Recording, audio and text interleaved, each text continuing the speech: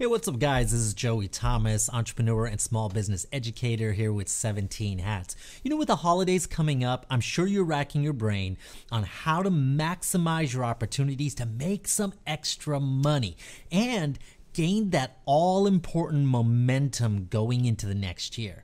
So, today we're going to dive into how to make the most of your Black Friday sales and how you can make sure your efforts will actually pay off. So you know that millions of shoppers are ready to take advantage of deals.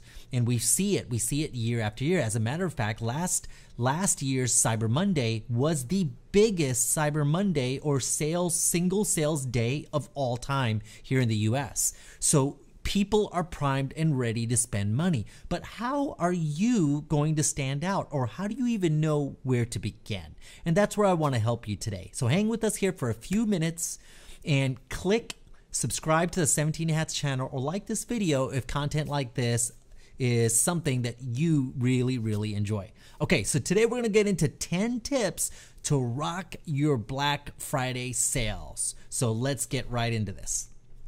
Number one, I want you to know that email is still king, guys, because you know what? We have to market. We have to get out there and we have to market. And not all of us want to put money into Facebook ads or Instagram ads and things like that. There's definitely a huge space for that. But recently, with some of the changes that's happened with tracking and all that, it's becoming a little bit more difficult.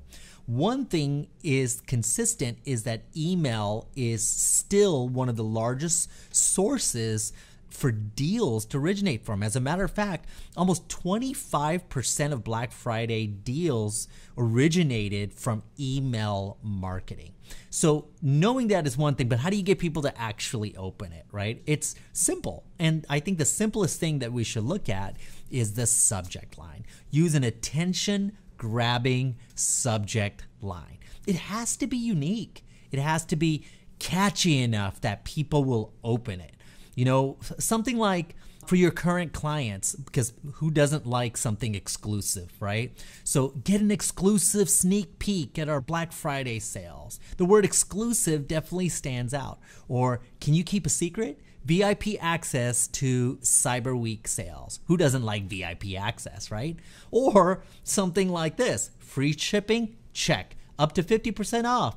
All yours. Black Friday in 24 hours. These are all samples of catchy, attention grabbing subject lines. So make sure, work on that a little bit, do a little research and make sure that subject line is very good. And you know, even having things like emojis in your subject line is helpful. You just don't want to overdo it or it can look a little tacky, right? Okay, next, you want to use a different approach for each target market. Your past clients are not the same as your potential clients. They don't respond the same way. For example, you can give your past clients something like VIP or exclusive access or early bird access. You can even give them additional access after the sale is over they will feel great about having that and no one else will. Whereas potential clients, you want to use some more of the traditional methods like one day only or get free shipping, which we're going to talk about later. So you want to make sure that if you have email targeted lists, that these are approached a little differently and you can compare how they're actually working um, with each other. Now, timing, timing, timing, timing is key you definitely don't want to inundate and spam your audience. That is the fastest way to get unsubscribed and really annoy them because they're getting hundreds of emails, hundreds, right? See my eyes popping out of my head because I get hundreds of emails. So instead, try this. This is a little formula, and you can tweak this whichever way you see fit. But start about a month early, and you can do one weekly email a month ahead and then maybe just an email, a single email 48 hours in advance and an email on the morning of. Some people, even a month ahead, will have a little sign up. If you want exclusive access early to our Black Friday deals, enter your email here. And you can create a unique list just to the people that you sent that email to a month early right? So, and like I said before, follow up with an extended sale with your current clients. Uh, people love the members only and VIP stuff. So, timing is key. All right, landing pages. So, let's touch on landing pages. Now, you know, people start looking for deals pretty early. They want to know what's coming up because they like to plan. And they're not always just shopping for Christmas or the holidays. A lot of times they're looking for things for themselves as well. I know I keep a little uh, note of all the deals that I see and things that interest me, and I actually save it to a little notes in my phone. So I have access to it year round. And I'll even subscribe to some of the texts and things just to see what kind of specials that's going to come up, even if I don't pull the trigger immediately, right? So people do start looking for those deals. And if you could create a landing page that actually lives online for quite some time, you can develop a little bit of SEO and kind of get rooted online a little bit and help your exposure. It's a very effective tool to get prospects to take an action because with landing pages, it focuses them on only what you want them to see and it doesn't necessarily make it confusing or more difficult to get around, right? I mean, because you could easily divert their attention and you don't want to do that. But you want to make sure that those landing pages look great on all devices and they're working properly. Make sure they scale, make sure they're looking easy, they don't get crowded. You can even add a giveaway on this landing page so that you can collect emails.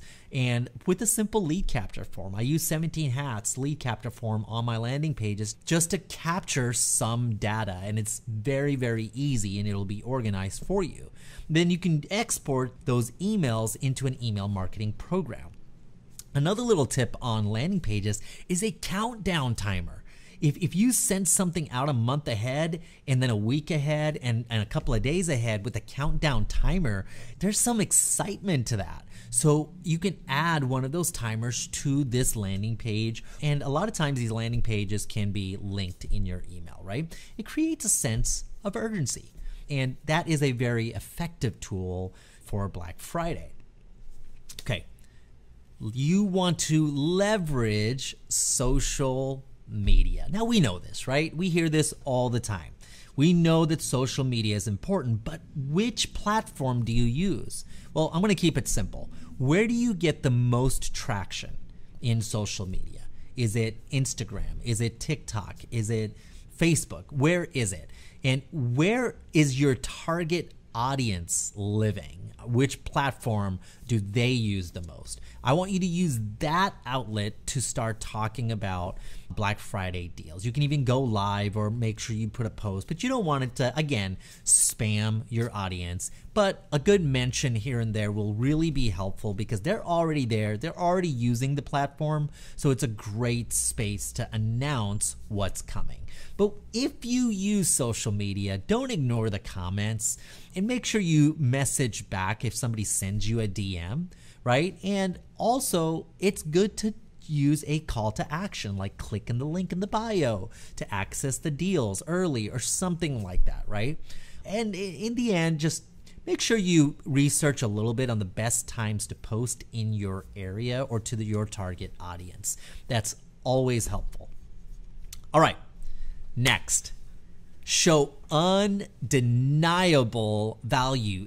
I, am just trying to say, just be clear. Be clear on the value that you are giving your clients, right? So, adding a service or product that would otherwise be a la carte to a deal or a bundle will help you clarify its value. For example, if product A is 10 bucks and product B is 10 bucks, but hey, you're selling these together for 15, it's easy to see that value, right? Because it might be a product you never ever ever discount. You know, you can also even give away free shipping if you're selling a product. Or if you're doing a service, no service call, no travel charges, free consultations. There's a lot of different things that, that people would want to take advantage of, knowing it's a clear cut, valuable option. Okay. In a service you can even add extra hours to the service you know and and they'll know because they've seen your a la carte numbers. But whatever it is that you do just be very clear on the value that you are providing. Next you have to choose the right products. You don't want to discount everything. If you discount everything it, it, it kind of loses its oomph. It loses that magic, right? You want to choose the right products to promote.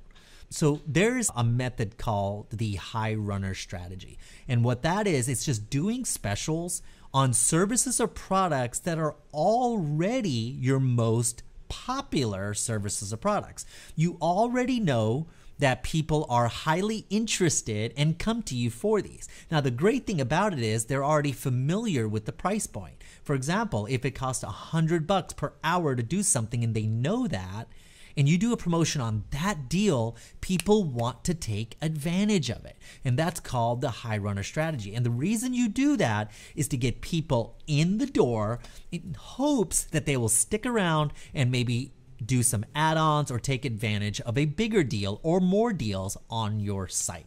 So, use choosing the right products is very, very important no matter what kind of sale you're deciding to do.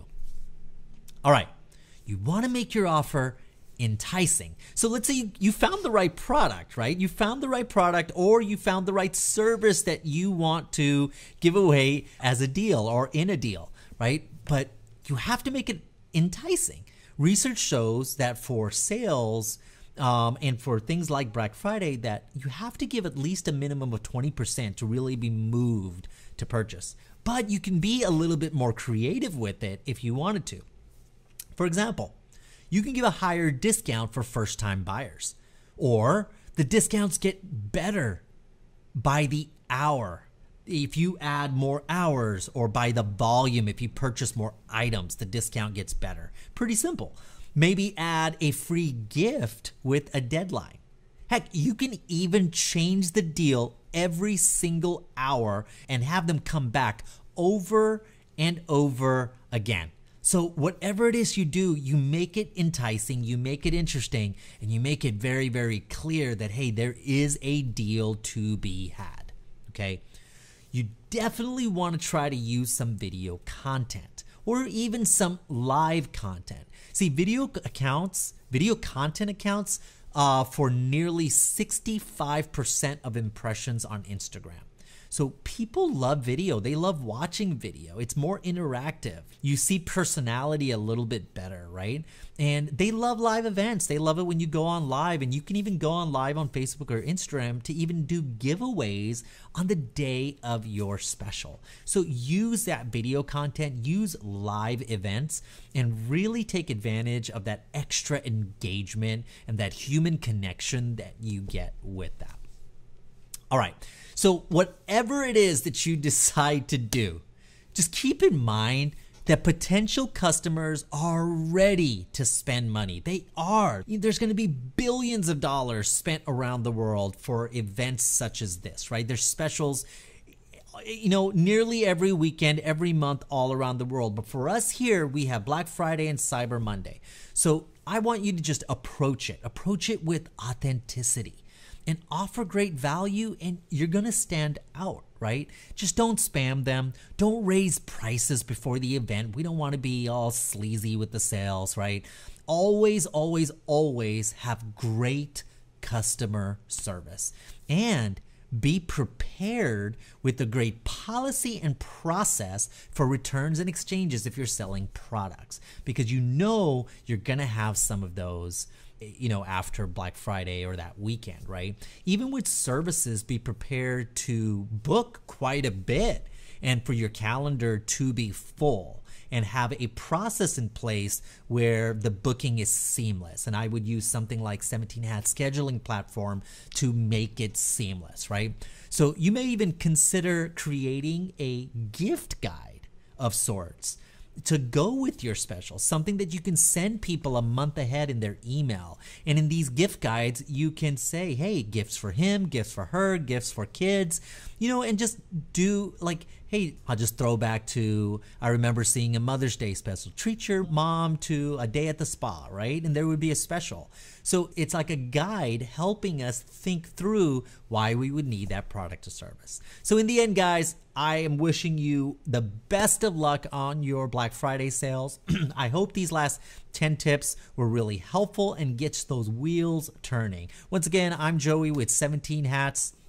Make sure you subscribe to this channel, click like, and turn on those notifications because we're going to have content like this coming at you every single week.